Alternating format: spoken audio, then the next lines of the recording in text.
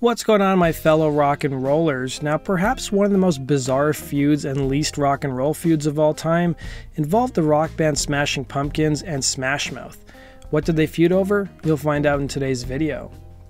Now, the DreamWorks movie Shrek was one of the most successful franchises of the last 20 years.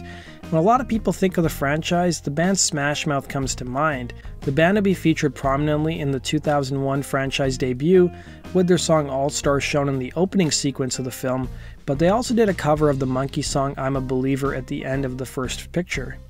Now, Smash Mouth would claim that they initially turned down DreamWorks multiple times to get their music to appear in the film, and the band only reneged after DreamWorks representative Michael Austin repeatedly begged them to reconsider.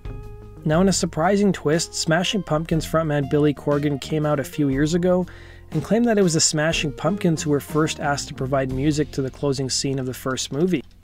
Corgan claimed that the band's 2000 song Untitled was supposed to close the film.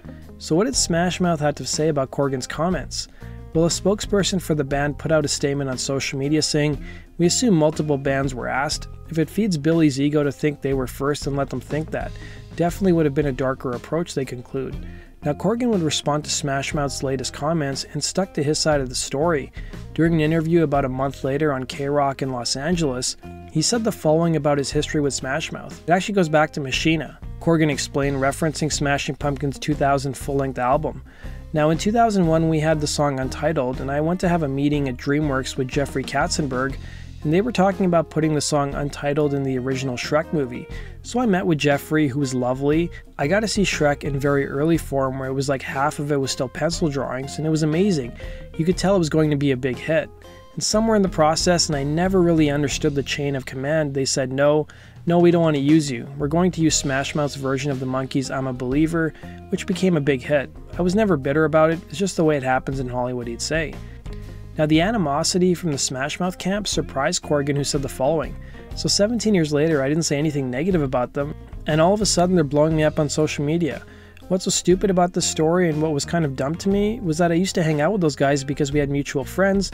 They knew the story from like 2002 on. So it wasn't like I was hitting them sideways. I told them the story. I don't know where the diss was. I never had a problem with the band, but this is the modern world of clickbait, he'd say.